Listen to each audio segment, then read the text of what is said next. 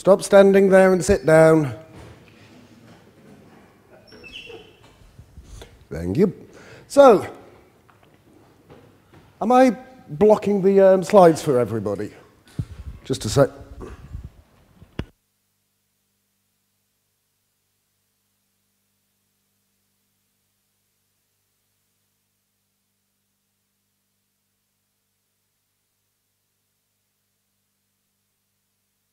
Again, so um, any talk about Moo really has to start by talking about Moose.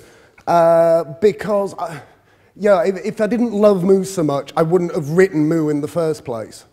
And no, you are not allowed to make a joke about loving Moose. Um, it's the less than three. It's a thing that people under 50 do, Stevan. It's okay. Uh, so, 0.01 of Moose came out in 2006. Um, quite possibly before Yuval Kogman was old enough to drink, which is kind of impressive.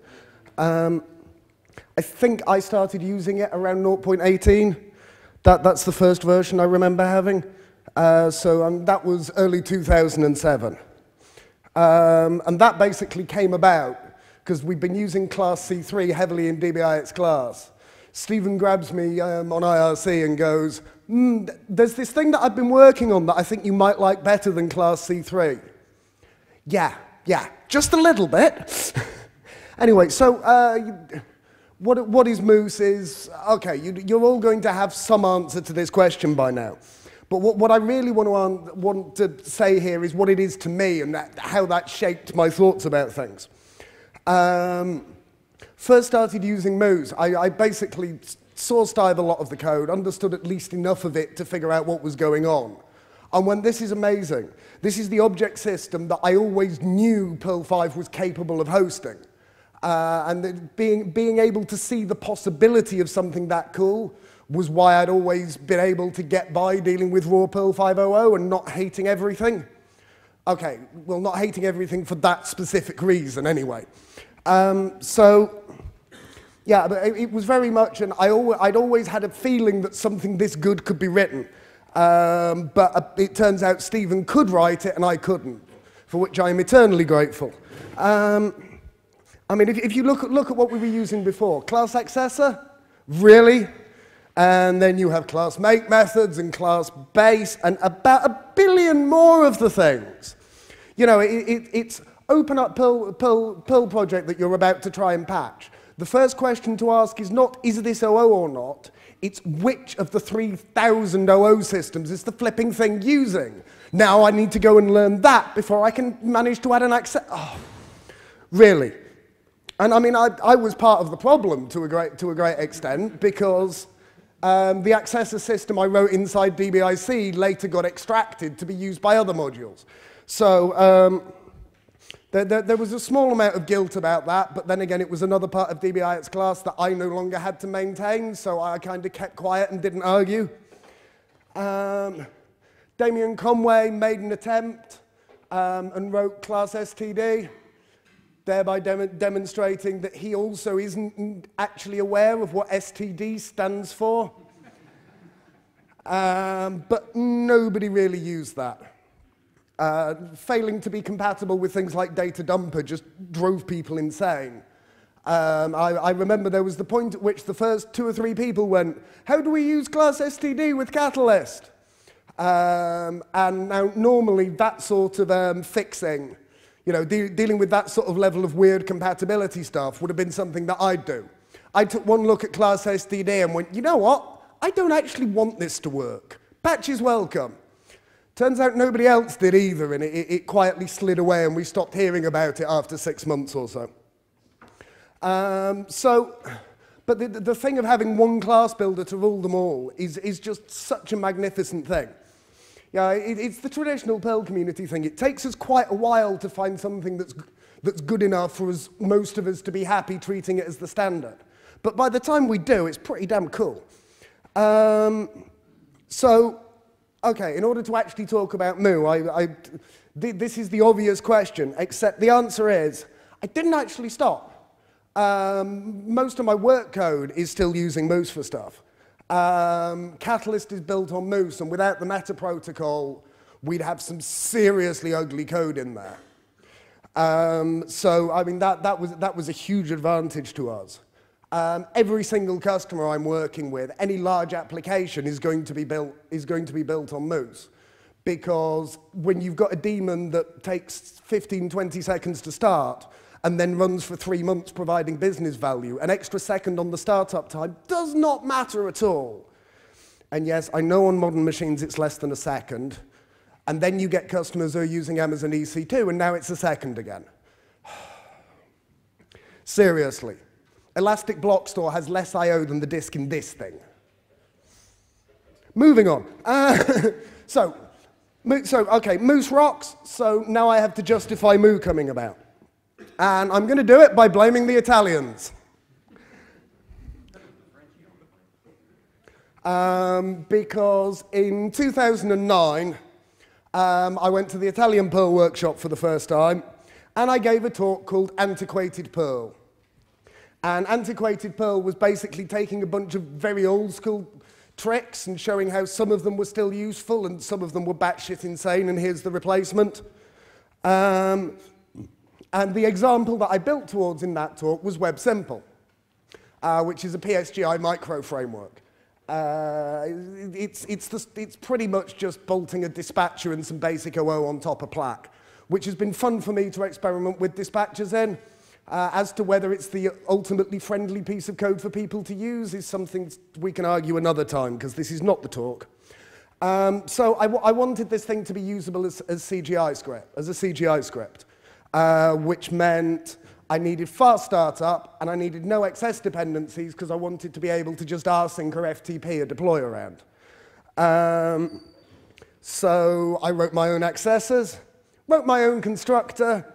It, it, oh my, I did not enjoy doing this. It was so boring. I mean, seriously, right? Try, trying, trying to write highly structured polymorphic code in C is more interesting than writing accessors in Perl uh, drove me mental. And then I, I, found that I had more than one project that had, that had this sort of problem. Um, data query, which, uh, which, still isn't quite released, but uh, might actually be shortly, because I'm about half a limit dialect from getting DBIX class running on it. HTML Zoom, various other bits. Um, and the problem I had for those was, in order to get the widest user base for them, because these were meant to be very low-level things that were used in multiple ways, depending on Moose, would massively impede adoption. You have, you have certain shops that have such a dysfunctional sysadmin situation that building a dozen packages rather than four to get a module is actually a reason to not use it because it's going to take the developer's entire afternoon to deal with their crappy deployment system. You have people who are, are still deploying as CGI scripts. Periodically, I get, I get shouted at because I've accidentally introduced an XS dependency into something because they're deploying as a CGI script over FTP. Every single time it's a German. Could I please ask all of you here to find whichever of your countrymen are doing this and make them stop? Anyway, um, so, I mean, the, the next thing is why not mouse? Well, mouse can be pure Perl. Uh, it describes itself as moose minus the antlers, but I'd argue that's not actually quite true because um, it still has a meta model. Um, so if it's still got a meta model, the antlers are just a bit smaller. And, you know, uh, sawn off antlers are, are, are, not the gangster thing, right? Um, mouse basically is moose minus minus.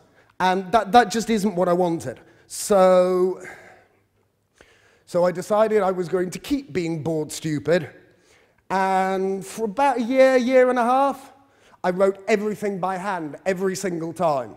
I, I do not recommend this as an exercise. But by the end of it, I, I very much understood just how much I was missing Moose and which parts of Moose I missed the most. Um, and I experienced a substantial amount of um, mental pain in the process. Next time, I think maybe I'll just try and break the other hip instead. Seriously though, trying to do this by hand? Okay, method modifiers. Before foo, call this other method. Simple, right? So that's how you have to implement it. That's not too bad, that's only five lines instead of three. How about after? Well, after, you now need to be able to preserve the context. So at that point, you get to write this every time. This is where it starts to get annoying, yeah? What about void context What about void context indeed, Stevan? However, if I'd actually fixed it for void context as well, it wouldn't have fitted on one slide. I mean, not having intelligent accessors. You know, I, I write things like this all of the time. And you're now looking at writing that. Um, constructors are even worse, though. Okay, you have, an, you have a required attribute, you have an attribute with a default. Two lines. Here's your constructor. Every time you write this, there's a significant chance you're going to introduce another bug. Um, so I just, no. And I mean, sub, let, us not even try and show the example for subclassing, because the, the code will be that big and still won't fit on one slide. Um, runtime role application is something I use heavily for plugin systems. Um, so in, in a Moose-like, you just call a function and it's done.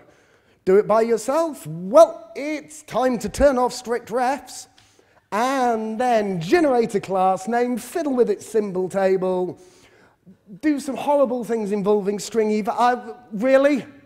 Really? No. I, I do not want to be writing this code. Um, the funny thing, um, the my colon colon package that you can use to extend a makefile.pl is actually applied via this technique. ExtUtils MakeMaker was doing runtime role application several years before Moose was released. However, if you look at that, there's a reason it didn't get more popular until he made it sensible to do. Anyway, so um, a couple of years ago, yeah, still a couple of years ago, um, I was out on site with a customer in New York and spending, spending um, most of the time during the week um, hating large-scale data on Amazon EC2. Believe me, proce processing the entire Twitter fire hose in real time on a system with disks that shitty is, is, is, well, I can understand why they decided to pay somebody else to do it, let's say. Uh, and it, it, was the weekend and I was bored. I mean, I, I went out socializing a bit in the evening, but I'm really not a cultural tourist. Um, go, going to museums and going to go, look at the pretty building just isn't my thing. So instead, um, I went down to the front desk and went, can I please have 15 of the sachets for the coffee machine, all caffeinated? Uh, no, really. Went out to Subway, bought two huge sandwiches and just didn't leave the hotel room for 36 hours. Sat and wrote code. Um, so I, wrote, I, I hacked on the main code, ribasushi and frew, two of the DBIX class core team, wrote tests for me. Um, and the end result was the uh, 0.009 release of Moo. So what did we get? Well, accessor generation's in there. This stuff works. Um, I, we only support a subref for default uh, because I found that allowing scalars in some scalars and not others tends to result in people shooting themselves in the foot so I couldn't be bothered. Um, I, it's all fairly simple stuff. Um, Moose, Moose provides lazy build, which was um, stolen out of one of my projects um, years ago and was quite frankly an awful design that we really should have thought through more before putting it into Moose Core. So I didn't copy that um, because the trouble with lazy build is it, it, it produces so many methods and adds stuff to your public API that you may not want. What you really want is just the laziness and a builder. So what we implemented was is arrow lazy that does just that, which to my mind is what lazy build should have been in the first place if I hadn't screwed the design up. Um, happily, uh, MooseX attribute shortcuts uh, provides is lazy for Moose. So you, we're still within the realms of compatible with the Moose ecosystem even if this isn't exactly the same feature you get in Core Moose. Um, for method modifiers, just use class method modifiers, does the job. The only um, interesting thing that you have to do is basically stuff them into an array and replay them for role application to work. Um, one thing that's been a, an interesting source of arguments is uh, type systems. Moo explicitly does not have a type system. Uh, basically because there's been so much arguing back and forth about mooses. And there's at least one project to build an external type system that's potentially a better idea than the uh, internal implementation. And so ba basically I decided the best thing to do, since I wasn't sure which of these was going to win and didn't want to end up with core support in Moo for a losing proposition, um, was just to basically push it externally. So with Moo, you have to pass a subroutine reference, and the subroutine reference has to die if it doesn't pass the type check. So that lets you control the error message to whatever level you want. And it means you can fairly trivially plug in any type system. Um, I mean, you could, in theory, plug Moose type straight into this and it would work fine. There'd be no point doing that because now you've loaded Moose. Just use Moose, but it would work. Um, there's also MooX types Moose-like, which provides an equivalent system to MooseX types for Moo. Um, since um, Moose's string types get kind of messy in large-scale projects, so most of the developers I'm working with that are using Moose heavily already use MooseX types for all their type constraints. so the, the, the, the, sort of learning curve there is um, fairly flat, and it's still an extension. Um, so that ends up looking as basically it's a, it's a subroutine constant, um, which I've always liked better than strings, because it means if I get the type name wrong, the Perl compiler tells me to sod off. I always like it when the compiler goes, you're an idiot, rather than having to wait for my test suite to discover I'm an idiot. But, you know. Um, another difference that does seem to surprise a lot of people, um, Moose turns on strict and warnings.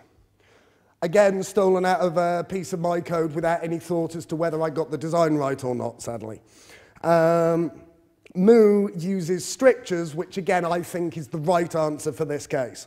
So what strictures does, doesn't just turn on warnings, but it makes all warnings fatal. Because if you're writing, so far as I'm concerned, if you're deploying a production application that's going to be part of your main business system, if a warning is emitted, that means even if, even if it's theoretically harmless, you didn't expect that to happen, so your code is now in an undefined state. Rather than having it carry on spewing to std and hopefully still doing the right thing, I'd much rather it blew up then and there, and then we can find the bug and fix it. Um, opinions may vary on this, but, you know. Um, the other thing about strictures is, when it's run from your test suite, it adds in prohibiting indirect object syntax, kills accidental use of the multi-dimensional hash syntax, and stops you from using bare word file handles. These are all compile time tests, so they're either going to stop your code compiling or not, which is why running them only on the author side is sufficient. But I find the extra protection is really nice. No indirect especially um, has caught a couple of bugs that would seriously have screwed me over if, if the compiler hadn't been able to tell me I was wrong. Um, and the, the point of this is, be as restrictive as possible by default, because your new users are going to be the people who don't know how to change the defaults yet, and those are the people who need the most protection. You know, if, if, you want, if you want to write your own importer replacement for Mo that turns off fatal warnings and turns normal warnings back on. It's probably about four or five lines. But I'm, I'm quite comfortable with the idea of to turn protections off, you should already know what you're doing well enough to know what you're getting into. Um, so uh, back to Moose. Um, you, do, you have the, the one nice thing here is, um, if, you, if you call meta on a Moo class, you get back a Moose meta class object. Um, Moo effectively pretends to be Moose. It, um, when it detects Moose being loaded, it installs um, basically lazy objects for every single, meta, every single Moo class and role. That then, the first time any method is called on it, traps that with an auto load and builds a real Moose meta class instance. So all of your Moose using code should never notice that the Moo code wasn't always Moose um, which has the great advantage that you don't need Any Moose, which can go horribly wrong in all sorts of really hard to debug ways. Um, Moo effectively has that capability built in because Moo is specifically designed to be the thing that you use as a, as a subset of Moose with the expectation that when you need Moose's features, the answer is not to install 12 Moo extensions, the answer is install Moose and get on with it. Um, so in order to enable that, I've, I've done quite a bit of work on interoperability both ways. So you can declare a Moo class, load a Moose role into it. You can use a Moo role in a Moose class. And then I thought, hmm, what shall I do? I know, I'll play Jenga. See how high I can get the stack. so, not only if you consume a mouse role into a moo role, that moo role can then be consumed into a moose role. In, you can't do it directly because mouse has no idea what's going on because it wasn't designed for moose compatibility. Um, but if you go via moo, moo manages to pull the data in from mouse and then push it back out so moose can understand it. So um, th this is designed for people who made the mistake of using mouse to be able to port off it reasonably easily and do it one class at a time so it doesn't, it's not a, a big bang major risk job. Um, I also, yeah, did a little bit of Jenga. Um, we went four layers deep and got bored. Uh, equally, you can have moo atop moose, atop moo atop mouse. Again, mouse has to be at the bottom or right out on the edge because, it, because it's only moo and moose that both talk to each other. Um, but it still works. Um, the whole thing is pure Perl. I've kept the dependencies to as close to a minimum as I can get um, without reinventing too many wheels. Um, now, admittedly, if you install it on a machine with a compiler, you will get some XS parts, but that's just optimizations. Um, class XS accessor, if you install it, we use for any accessors we can because that's way faster than a pure Perl accessor. But all, all of this is optional. Um, at some point, I'd really like to um, steal the mouse accessor code because I do envy their XS accessors, but it's not a major problem for me at the moment. If anybody else actually likes dealing with XS code and crazy C stuff and wants to have a go, please give me a shout. I'll happily take a patch. but the, the, the key thing here is the only XS stuff we rely on being there is in the core. So you've got a lot of freedom for deployment. Um, it'll fat pack itself comfortably. So you can bundle Moo using code into a single script. Um, I, I was extremely pleased. One of the Postgres core developers was starting to learn Perl to replace some of his bash scripts and was on a fairly old machine that he didn't understand the CPAN config of and really didn't want to do too much installation. So I fat packed a copy of TinyREPL, which comes from eval with lexicals, and gave him a single file Perl REPL script, and he was over the moon. And it, it, being able to do this sort of stuff is really nice. I mean, yeah, in a sensible environment, you just install the modules, but sometimes it, it's helpful to have the alternative. Um, also, you know, enables deployment via FTP. I refer you to my previous comments on the subject. Um, but there's all sorts of other interesting things you can do as a result of this. One of the fun ones for me is Object Remote, um, where I can take a class, call new colon colon on and give it a host name, and Object Remote SSHs into the host, into that host squirts a copy of itself over the wire by basically fat packing itself on the fly. Um, and at that point, it instantiates the object in the process on the far side and gives me back a handle to it. And because I've got a pure Perl depth chain, this is completely transparent. The only thing I'm relying on having at the other end is a reasonable 5.8 plus Perl interpreter, uh, which for doing sort of surveys and ad hoc systems code on a, on a, on a customer platform that is, hi, we grew really fast under VC funding, and now we've just noticed we have this slight sysadmin problem. Um, it's been really handy. Um, if, if, you're, if, you're more if you're interested in that sort of stuff, uh, I'm fairly sure that my talk tomorrow is about the system that I built using this. Um, so I, basically, it works.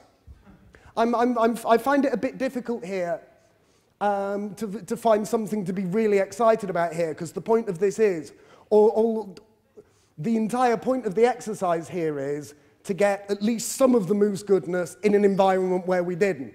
So the, the exciting thing is everybody standardizing on moose and moo and whatever else. That, that's the interesting part. This is just a bunch of code that I had to write to make sure that I could have my shiny sugar everywhere else I was working, as well as the um, Sensible projects. Um, so give it a go. We have declared 1.0 now, and it really does seem to be pretty solid at this point. Um, and I'd say if, if you're asking yourself, should I or shouldn't I use Moose for a particular project? The answer to my mind is use Moo but most importantly, use Moo first. Because the whole point of using Moo is that Moose will still be there later if you need the extra features. Um, so, IRC discussion, we're using hash moose for user questions, and then development is going on in hash web simple for, well, it, it's kind of worked out that way, and there's no point having yet another dev channel. I'm already in about 90 IRC channels. I need another one like I need another broken bone, you know? Um, so, textually, Moo is 60% of Moose. So the joke we've always made is almost but not quite two thirds of Moose. Thank you very much.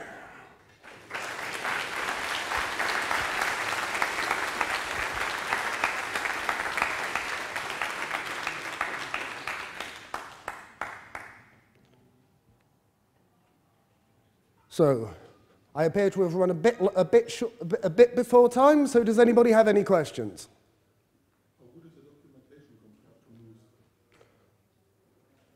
Uh, I don't know. That, that would imply I'd read either set of documentation in the last two years. when, when something doesn't work for me in either of them, I go and read the source code. So. Yeah, that's uh, a, an for beginners. I think the Moo documentation is now fairly comprehensive. And you're also in a situation where, apart from the meta model stuff, the vast majority of the Moose documentation applies. I mean, re realistically, yeah, other, th other than the, um, the minor differences, which we have a long section documenting exactly what the um, differences are. Um, the, the, the point of Moo is to basically function as a restricted pure Perl Moose. So what the idea is, you introduce people to Moose, get them addicted to Moose because it's the real thing, and then if they end up in an environment where they can't use the real thing, Moo's there to support that. Anybody else? Cool. so, thank you very much.